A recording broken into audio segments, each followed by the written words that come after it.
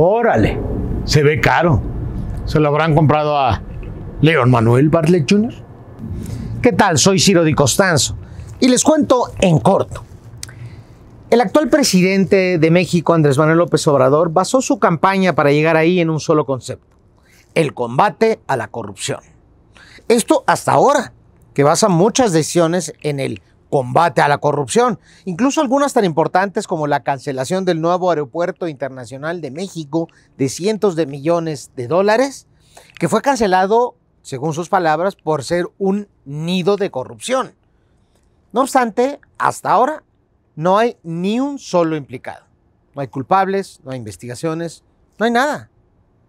En la cancelación del tan necesitado seguro popular por un titubeante Insabi se hizo justificándose porque era combatiendo la corrupción. Sin embargo, hasta ahora tampoco hay investigaciones, no hay detenidos, no hay culpables, no hay ni siquiera señalados. Esta presente administración sigue pregonando una cruzada contra la corrupción cuando sostiene personajes tan oscuros como el actual director de la Comisión Federal de Electricidad, Manuel Bartlett Díaz, que compra casas como pepitas y transfiere empresas a sus hijos y a su concubina, que no es concubina después de 20 años. Inclusive personajes de la administración pasada de Enrique Peña Nieto, quizás la más corrupta del milenio, en donde no se les toca ni con el pétalo de un comentario en la mañanera.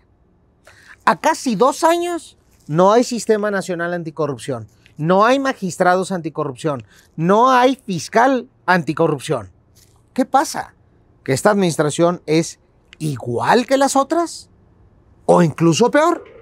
Así son las cosas y así se las hemos contado en corto.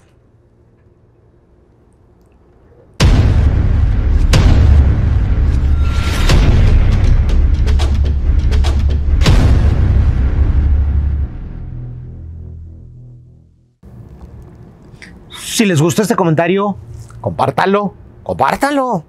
Si no les gustó, pues combátanlo, combátanlo. No se queden callados y no se corrompan. Cuéntamelo todo.